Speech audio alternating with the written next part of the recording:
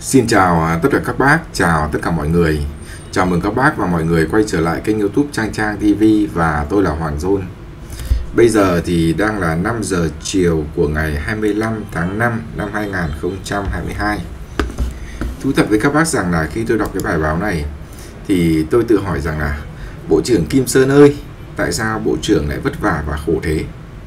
Bộ trưởng cố gắng giải thích bộ trưởng cố gắng gì đấy và thậm chí bộ trưởng còn là giải thích rằng là giá sách giáo khoa mới tăng gấp 2 3 lần, vân vân và mây mây.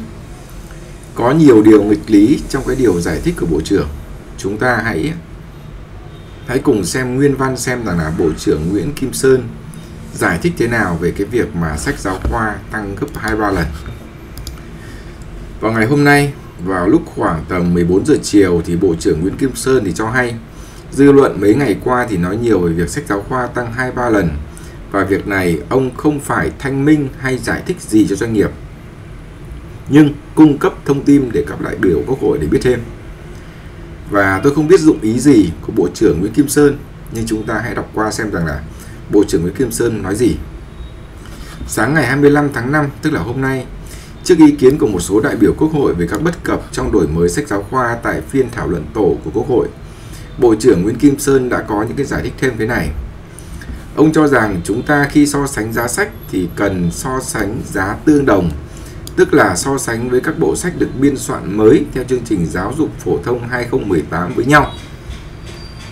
Ví dụ như là sách mới cho sách lớp 1, 2, 3, 7, 10, tức là hệ thống biên soạn mới thì xã hội hóa theo chủ trương của Quốc hội là xã hội hóa nhiều bộ sách và các loại sách biên soạn khổ lớn hơn, giấy tốt hơn, các quy trình từ biên soạn, giới thiệu, thử nghiệm, phát hành vân vân, doanh nghiệp đảm nhiệm và kê khai giá với Bộ Tài chính. Các bộ sách lớp 3, lớp 7 và lớp 10 của nhà xuất bản giáo dục năm nay thì với chỉ đạo giáo diết là giảm được từ 10 đến 15% so với các sách tương ứng mới của năm ngoái. Trong khi giá thành vật liệu, nhiên liệu thì tăng lên. Ông Sơn nêu rõ như vậy. Còn nếu so với các bộ sách cũ thuộc chương trình 16 thì theo ông Sơn, đó là các sách mà nhà nước đã bỏ tiền cho rất nhiều từ khâu biên soạn, thẩm định, tức là những phần đã được nhà nước tổ chức trước đây theo hệ thống cũ, khổ nhỏ hơn, giấy xấu. Ông dẫn chứng là nếu so với bộ sách cũ thì giá thành dao động từ 50.000 đến hơn 100.000 đồng, còn bộ sách mới thì dao động từ 200.000 đến 300.000 đồng từng loại sách. Và nếu so với sách của hệ thống cũ thì chúng ta thấy nó khác nhau nhưng nếu so với sách của chương trình mới thì đồng đẳng nên hợp lý hơn. Nếu như so với các bộ sách mà nhà nước tổ chức trước đây mà chúng ta nói nó tăng thì sự so sánh ấy là không tương đồng, ông Sơn chỉ rõ. Ông nhấn mạnh là đã chỉ đạo nhà xuất bản giáo dục với mỗi sách giáo khoa mới thì sẽ dành 2.000, 25.000 bản để phát cho các học sinh vùng sâu, vùng xa. Tuy nhiên con số này vẫn ít, vì vậy cần có các biện pháp khác Bên cạnh đó thì ngay mà khi sách chưa phát hành thì đã yêu cầu nhà xuất bản cung cấp file PDF của các trang nhà xuất bản để học sinh có thể lấy các file xuống một cách thuận tiện. Về giải pháp thì ông Sơn cho hay Bộ đang triển khai các giải pháp để đưa giá sách giáo khoa ở mức hợp lý, thuận tiện nhất cho người đọc. Về thông tin trên mạng thì nói sách giáo khoa không dùng lại được thì Bộ Giáo dục và Đào tạo khẳng định các sách mới, nghĩa là các sách theo bộ mới biên soạn thì hoàn toàn dùng lại được chứ không phải là sách dùng một lần. Ông giải thích rằng người ta nói năm nào thì cũng thay sách bởi vì phải bởi vì phải thay 12 năm mới hết được và thay sách theo hình thức cuốn chiếu. Năm nay lớp 1, 2, 3, 10, năm tới là 4, 8, 11 và một năm nữa thì mới thay xong. Như vậy năm nào cũng có nhiệm vụ thay sách thì đương nhiên là sách cũ sẽ không dùng được cho năm mới. Nhưng những sách biên soạn và hoàn toàn có thể dùng lại được và Bộ chỉ đạo các tường các trường là tăng cường mua sách để đưa vào thư viện để học sinh có thể dùng lại nhiều lần. Ông Sơn nói như vậy. Đó. Đó là nguyên văn của Bộ trưởng Nguyễn Kim Sơn. Tôi thì tôi có một cái câu hỏi thế này và có băn khoăn thế này. Thực sự rằng là, thực sự rằng là, nếu nói theo ngôn ngữ dân gian thì đây là một những cái pha giải quyết rất là cồng cảnh rất là công cành. Cực kỳ công cành tôi nói thật. Cái việc mà nội dung sách giáo khoa ấy thì xin thưa rằng là tôi đã luôn chia sẻ với các bác rằng là người ta học vì cái content như là các nội dung chứ không phải là cái sách mà chất lượng giấy thế nào khổ bao nhiêu. Ừ thì khổ nhỏ hơn một tí cũng được nhưng mà nội dung sách vẫn ok. À, người ta học là học cái nội dung chứ không phải rằng là học theo cái dạng là sách mới thì to hơn, sách cũ thì nhỏ hơn, kiểu như thế.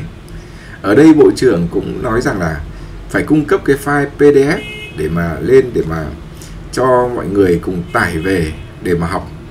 Thế nhưng bộ trưởng có biết rằng là nếu như tải cái file PDF đó về cái iPad hoặc điện thoại khổ lớn của mình thì có thể là học được, đúng không ạ?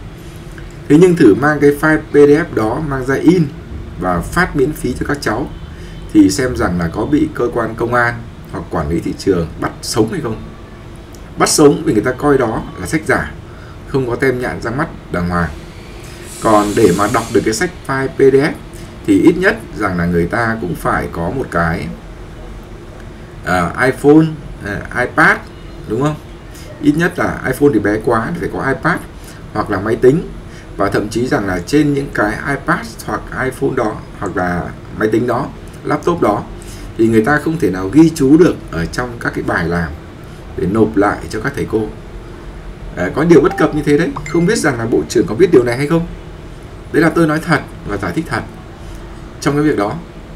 Thế cho nên ấy, cái câu chuyện rằng á là bộ trưởng vẫn đang có vẻ né tránh ở cái chỗ này xã hội hóa sách giáo khoa thì không khác gì là giống như ngành y tế, người ta cho mang các máy vào và từ đó là tính giá nó cao lên. Thế trong khi đó, thì tôi vẫn nghĩ rằng là cái việc biên soạn sách giáo khoa thì đó là trách nhiệm của bộ giáo dục. Phải chịu trách nhiệm về nội dung, đó. Và bộ giáo dục là phải trách nhiệm nội dung. Bộ giáo dục nắm rất nhiều những giáo sư tiến sĩ. Có phải hàng năm chúng ta đã sản xuất ra lò bao nhiêu giáo sư tiến sĩ không? Thì đó hoàn toàn có thể biên soạn đến cuốn sách như thế này và sẵn sàng trả tiền cho họ và dùng mãi mãi. Khi dùng mãi mãi rồi thì cung cấp cái file pdf đó lên, nhưng phải lưu ý là cho in, đó. Chúng tôi mua một bộ sách cho các cháu ở trên vùng cao. Thì bộ sách đó, kể cả ngoài bán là ví dụ như là 700 ngàn đồng, thì chúng tôi chỉ sản xuất in ra với cái giá khoảng tầm 200 đến 300 ngàn đồng, tùy loại giấy, đó và khi chúng tôi cung cấp cho các cháu ấy, thì chúng tôi không phải cung cấp cái iPad nữa hoặc cái laptop nữa để các cháu phải điền vào đó. Đó là cái sự thật. Và như vậy thì tôi xin thưa rằng là không cần đến cái khoản 25.000 mà yêu mà Bộ Giáo dục yêu cầu các nhà xuất bản là chuyển cho các cháu vùng cao. Người ta không cần cái sự bố thí của mọi người tôi nói thật. Rất nhiều người có thể hỗ trợ các cháu trong cái việc này. Và thậm chí các cháu nhận những cuốn sách đó là chúng tôi rất trân trọng bởi vì các cháu nhận. Chứ chúng tôi cũng không ép buộc gì. Và cái việc mà giống như kiểu rằng là 25.000 cuốn sách đó cho vùng sâu, vùng xa, thì đó là như một cái sự ban phát, ban ơn, chứ không phải là một cái thực tâm. Cá nhân tôi thì vẫn cho rằng bộ trưởng nên dũng cảm, nhìn thẳng vào sự thật và xóa đi cái lợi ích nhóm trong cái việc in sách giáo khoa. Sách giáo khoa là bên công an, với cả là bên quản lý thị trường. Hãy năng động làm việc và xác định rằng nội dung sách sai thì mới là vấn đề. Chứ còn sách in ra thì nó đều có cái giá trị của nó. Và sách in ra thì bao giờ nó cũng rẻ hơn là sách in từ những nhà xuất bản. Chúng ta sẵn sàng, thậm chí rằng bộ trưởng có thể yêu cầu rằng là mua lại cái bản quyền của những cái người của ông Thuyết ấy làm cái bộ sách giáo khoa đấy và cung cấp miễn phí. Nhà in nào cũng có thể in. Một nhà in ở Hà Giang, một nhà in ở Cao Bằng, một nhà in ở Sơn La, một nhà in ở Trà Vinh, Bạc Liêu, vân vân, đều có thể tải cái file đó về và in và xuất bản cho các cháu. Chúng ta có thể giảm giá sách đi rất nhiều từ cái khâu vận chuyển. Còn cái việc mà bộ trưởng không phải tính toán ờ, không phải tính toán những cái việc rằng là giá sách hoặc là giá nguyên vật liệu nó tăng cao hay là không tăng cao mà cái này để thị trường nó tự làm. Khi mà không tăng cao thì giá sách là 200 ngàn một bộ. Còn khi mà nguyên vật liệu tăng cao thì giá sách nó khoảng hai trăm rưỡi một bộ, chứ không phải là 700 hay 800 ngàn một bộ như hiện nay. Đó là một cái sự thật. Và chúng ta phải hiểu rằng là cái nội dung của cuốn sách mới là cái có giá trị. Còn cái giấy thế nào, in thế nào thì đó là việc để cho thị trường quyết định. Bộ trưởng nên nắm về cái nội dung bởi vì cái nội dung mới là cái quan trọng nhất và chịu trách nhiệm về mặt nội dung đó. Chứ không phải là bây giờ đi giải thích thế này, nó rất là mệt. Đầu óc của những người quản lý nên làm những việc nó khác hơn.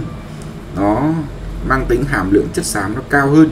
Chứ không phải là một cái việc mà đến người dân như chúng tôi còn nhìn quá rõ quá rõ ràng như thế này. Đúng không?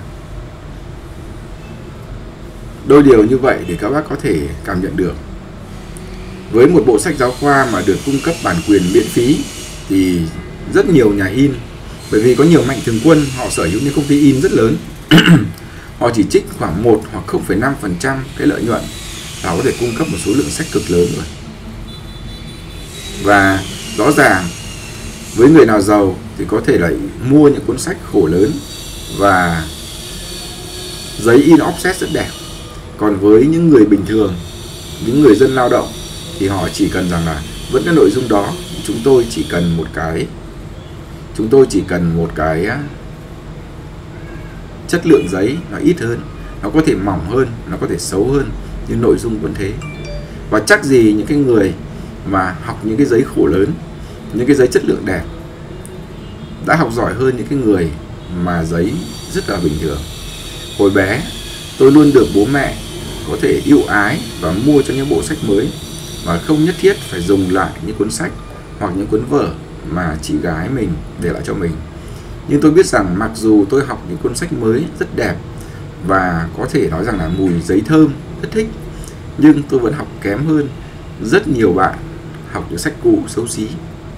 Và chúng ta hiểu rằng như vậy, cái nội dung sách mới là cái quan trọng, chứ không phải là bây giờ giao cho một vài người để rồi rất mất công để đi giải thích như thế này. Thật sự là thế không biết các bác nghĩ thế nào thì hãy giúp comment tôi cái chuyện này. Cảm ơn tất cả các bác cảm ơn tất cả mọi người. Và tôi thấy rằng là cái giải thích của bộ trưởng Kim Sơn là rất khó có thể chấp nhận với một cách hiểu như một người dân bình thường như tôi. Đó, một cử tri như tôi.